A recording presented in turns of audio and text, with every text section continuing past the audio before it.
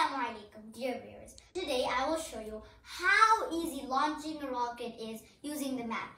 And I can show you, it is indeed very, very quick and very, very easy.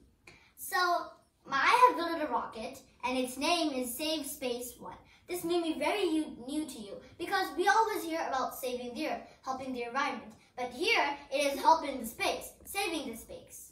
You know, when Earth sends the satellites out into the space, the satellites just orbit. And when its lifetime is over, it floats in space like a debris. This can also affect the Earth. And when NASA sends other satellites up into space, those debris satellites can also affect on the satellites that NASA send newly.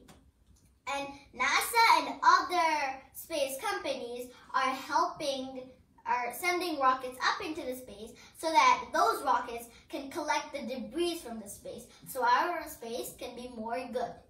So today I have a problem and I need to know how much speed I need to send this rocket out into space because I want this rocket to help clean up all the debris in, with the other rockets in space. So my problem is I need to figure out how much speed I need for this to launch right out into space. So let, I'm going to show you an equation, okay, that I can help that can help me figure out the speed that I need this to launch. So let's pretend that this that this is the earth, okay, and here is a mountain. I want to send an arrow all the way, but the arrow just won't go straight because there has to have an effect of the gravity. So if I send it with very, very less energy, it can end over here. A little more energy, end over here. A little more energy, end over here.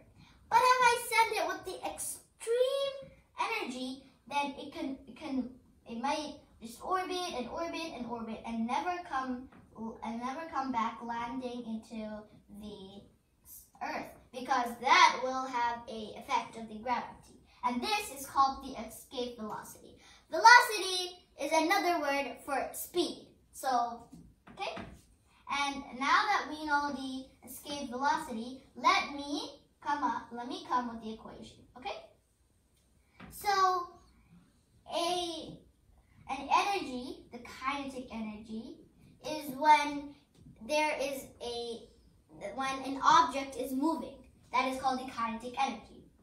And the potential energy, the potential energy is a stationary energy. It also has energy, but it's just stationary, which means it's staying still. It's not moving. And this is called the potential energy, okay? Now, my kinetic energy here is the mass of the mass of my rocket times the velocity squared, or I told you what velocity means. It's also another word for speed, divided by 2. This is my kinetic energy here to, uh, for one part. And the, my potential energy, my potential energy is the gravity of the Earth times the mass of the Earth, okay? Times the mass of the rocket. So this is the mass of the Earth, and this is the mass of the rocket, divided by the radius from the center of the earth, and that is where. Okay? This is my energy, and I need your help to solve this problem. Well, what I can understand first, that I have to take the mass of the rocket, of the kinetic energy, here, and multiply it to the radius from the center of the earth squared, multiplied by that. So if it goes away, if I take that out, then it's velocity squared divided by 2. That's what left. And it is um, and there is the gravity time of the Earth times the mass of the Earth times the mass of the rocket divided by radius squared, radius squared divided by the radius squared times uh, here times the mass of the rocket. Okay? And now I can take out the masses of the rockets, both, and I have this left. Now I want the two to go there. So if I want the 2 to go there, then what's left is the velocity squared. And here, it is going to be 2 and then times, or 2 times the gravity of the Earth times the mass of the Earth divided by radius squared because we took out the um, mass of the rocket. Now this is what's left. And I only need to figure out the velocity, not the velocity squared. So how do we move the squared? We have to uh, root it. You have to square root it, both of them. So here, we take it out and velocity is left. And for this, scientists have done math, other math, and figured out that this is actually 11.2 kilometers divided by, uh, or in each, in every second. So that is a very, very, very long distance in a very, very, very quick time. So I have just figured out that I need this much speed for this rocket to go up into space and collect the debris. Now, you know, this rocket also has three different parts. The payload, the guidance, and the, the propulsion. This is the payload, okay?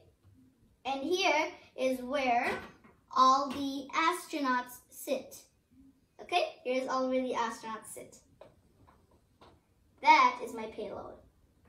Here is my guidance system, this body.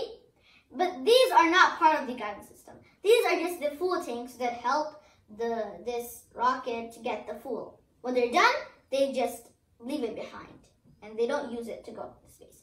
And this is the last part, the propulsion. And this is the last part, the propulsion. So now you can, now we figured out how much speed I we need so that we can send this rocket up into space.